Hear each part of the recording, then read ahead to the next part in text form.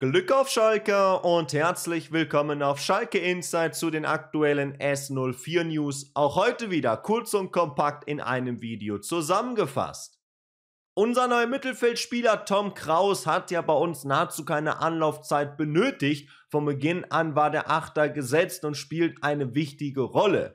Doch sein Wechsel zu uns wäre fast an einer Bedingung gescheitert, denn für Tom Kraus stand in der vergangenen Saison fest, dass er nach seinem Engagement beim 1. FC Nürnberg unbedingt in der Bundesliga spielen möchte. Und deswegen war eben das auch die wichtige Bedingung für den Wechsel zu Schalke. Das hat er gegenüber der Sportbild verraten.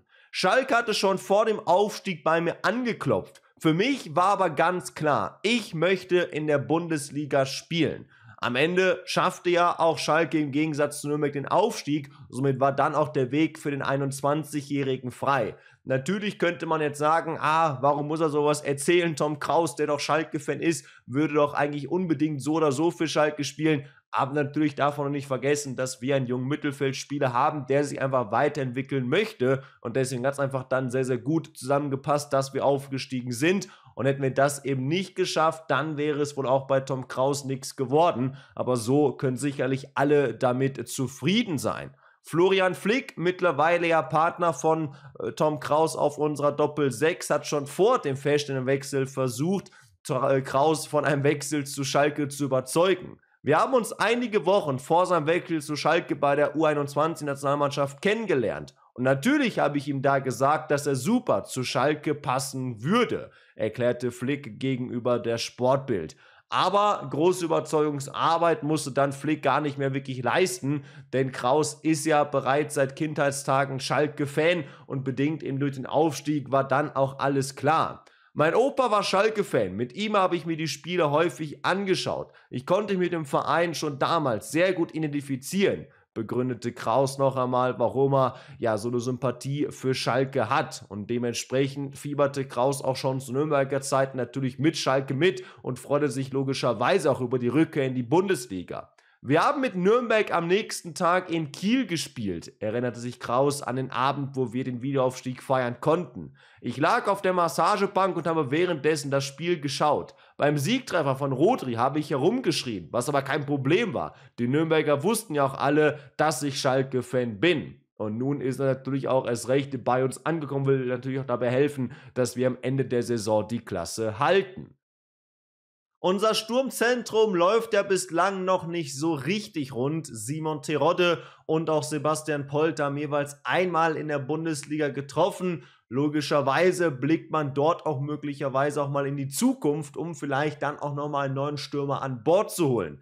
Denn während Marvin Pieringer in der zweiten Bundesliga als Leihspieler bei Paderborn extrem überzeugt, gibt es nun ein Gerücht aus der Schweiz, dass wir einen weiteren jungen Stürmer zumindest mal auf der Liste haben. Denn nach Angaben der Schweizer Tageszeitung Le Novelli sind wir interessiert an Philipp Stojkovic, ein 22-jähriger Stürmer aus der Schweiz. Es gibt mehrere Vereine, die den jungen Mann auf dem Zettel haben und zu diesen Interessenten sollen eben auch wir Schalker zählen.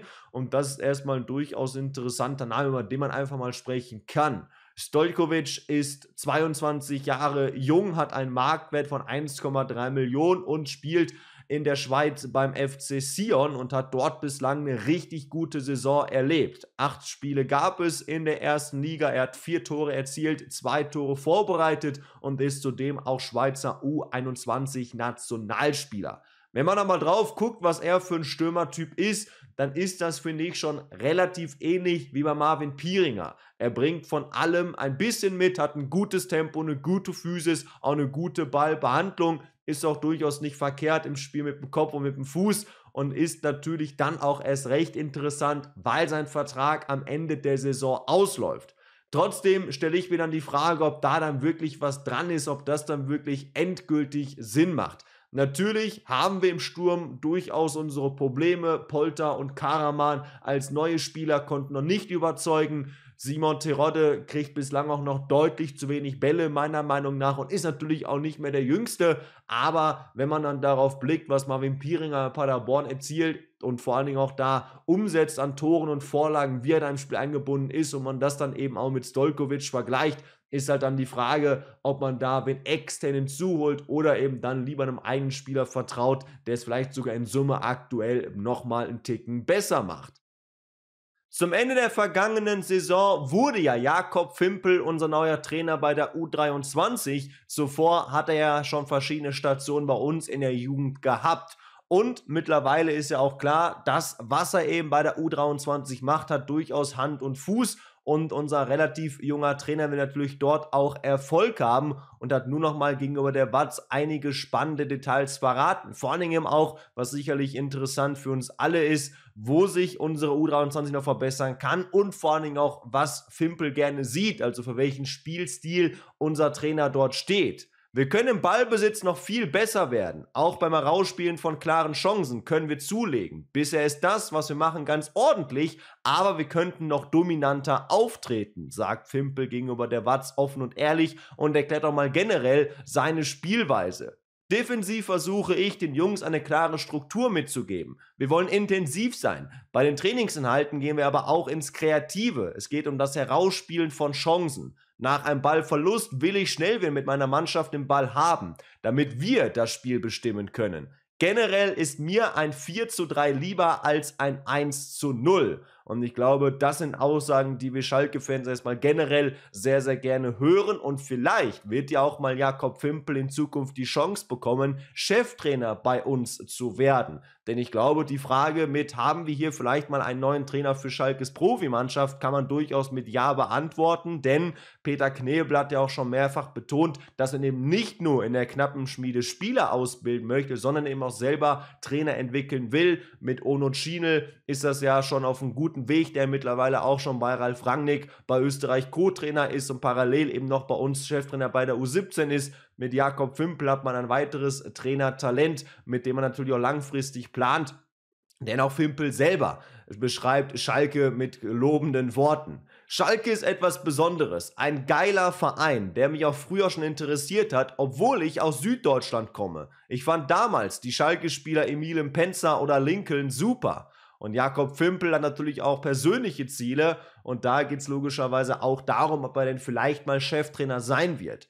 Mein Ziel war es immer, durch die Aufgabe, der ich gerade nachgehe, mich zu verbessern und mich optimal an die Anforderungen anzupassen. Auf Schalke habe ich die Chance, als Cheftrainer der U23 zu wachsen. Und ich finde es da erstmal ganz gut, dass Fimpel mehr als bescheiden bleibt, keine großen Töne spuckt, dass er unbedingt in den Profibereich muss oder will. Natürlich ist das sicherlich das Ziel von sehr, sehr vielen Trainern. Viele schaffen es aber auch nicht. Aber ich glaube, dass wir jetzt hier Jakob Fimpel peu à peu auch langsam als Cheftrainer aufbauen und er dann vielleicht mal in Zukunft auch eine Option ist für den Profibereich, klingt sicherlich realistisch. Und ich glaube, den Weg, den man dort in der knappen Schmiede geht, ist auch vollkommen richtig so. Mittlerweile sollten alle rund um Schalke 04 gemerkt haben, dass unsere Mission, der Klassenerhalt, ein extrem steiniger Weg wird und möglicherweise auch bis zum letzten Spieltag andauern muss. Und deswegen ist es natürlich auch vernünftig, sich auch auf das rein theoretisch mögliche Worst-Case-Szenario einzustellen. Sprich, was passiert, wenn wir wieder absteigen aufgrund unserer hohen Schuldenlage? Und die Bild-Zeitung hat dort erfahren, um einen Wiederabstieg wirtschaftlich überleben zu können, hat Schalke mit dem Betriebsrat ein Sparpaket vereinbart. Dies wurde mittlerweile auf Bildnachfrage auch von Schalke bestätigt, deswegen gehen wir das auch mal gemeinsam durch. Denn sollten wir in der zweiten Liga dann wieder spielen und eben nach dieser Saison absteigen, dann verzichten wohl nahezu alle der 450 Mitarbeiter auf Gehalt. Im Gegenzug winken dann aber natürlich auch Prämien, wenn die Mannschaft erfolgreich ist. Und dort kennt auch Bild die Gehaltsverzicht-Tabelle. Erst einmal Mitarbeiter bei uns auf Schalke, die unter 3500 Euro verdienen, verzichten nicht auf Gehalt. Besser gesagt, sie müssen nicht auf Gehalt verzichten, weil das eh dann schon im Verhältnis zu den anderen ein niedriges Gehalt ist. Beim Gehalt von 3500 bis 5000 Euro gibt es dann eben 5% Verzicht. Beim Gehalt von 5001 Euro bis 7000 Euro 7,5%. Beim Gehalt von 7001 Euro bis 10.000 Euro haben wir 10% Verzicht und dann beim Gehalt von 10.001 bis 15.000 Euro haben wir dann 12,5% Verzicht und beim Gehalt über 15.000 Euro sind es dann auch schon satte 15% und damit will eben dann Schalke erreichen, dass man ordentlich Geld auch einsparen kann im Fall eines Abstieges. Natürlich wird jetzt sicherlich von vielen von euch wieder das Argument kommen, was ich auch vollkommen verstehen kann. Warum müssen denn die Mitarbeiter auf Schalke verzichten und nicht einfach ein, zwei Spieler ein paar Millionen weniger verdienen? Bin ich vollkommen dabei. Man darf aber natürlich auch nicht vergessen, dass wir so eine Anzahl Mitarbeitern haben, wie es oftmals nur Clubs haben, die europäisch eigentlich Champions League spielen. Da sind wir einfach noch auf einem anderen Niveau. Und da geht es eben dann darum, alle Mitarbeiter im besten Fall einen Job bieten zu können. Aber dafür müssen eben auch dann die Mitarbeiter, die auch relativ viel im Verhältnis zu anderen verdienen, verzichten, was dann sicherlich eine gute, vernünftige Lösung ist. Und es gibt eben auch ein Prämienmodell, sogar Titelgelder bis hin zu einem Triumph in der Champions League, was eben schon feststeht. Sollte man eben dann wieder in die Bundesliga aufsteigen, gäbe es ein Monatsgehalt on top. Für den Klassenerhalt in der ersten Saison nach dem Aufstieg gibt es ein halbes Monatsgehalt, was übrigens auch jetzt schon gilt. Für den Gewinn der Meisterschaft gibt es auch ein Monatsgehalt. Für den Gewinn des DFB-Pokals gibt es auch ein Monatsgehalt on top. Beim Finaleinzug ein halbes Monatsgehalt. Und für den Gewinn der Champions League gibt es auch ein Monatsgehalt. Und auch dort für den Finaleinzug sogar drei Viertel vom Monatsgehalt nochmal on top. Und für den Gewinn Gewinn der Europa- oder Conference League gibt es ebenso wie bei der Champions League ein Monatsgehalt on top und beim Finaleinzug drei Viertel des Monatsgehalts. Und das hat eben auch Schalke auf Bildnachfrage bestätigt, dass es dieses Spar- und Prämienpaket gibt. Ziel ist es einerseits, dass die Mitarbeiter am sportlichen Erfolg auch finanziell partizipieren, so erstmals geschehen beim Aufstieg in die Bundesliga in diesem Sommer. Gleichzeitig soll der Verein an dieser Stelle dem Beispiel anderer Clubs folgend in einem erneuten Abstiegsfall gewappnet sein, in dem durch den freiwilligen Gehaltsverzicht eine automatische Kostensenkung eintritt. Denn neben dem Monatsgehalt hat Schalke noch eine einmalige Mini-Aufstiegsprämie von 504 Euro gezahlt, auch an die Mitarbeiter, die den Gehaltsverzicht nicht unterschrieben haben. Denn, und das ist ganz wichtig zu sagen, dieser ganze Gehaltsverzicht basiert auf freiwilliger Basis. Und das waren also Schalkes Daily News. Eure Meinung dazu mal gerne in die Kommentare und dann sehen wir uns im nächsten Video wieder. Macht es gut, ciao und Glück auf an alle Schalker.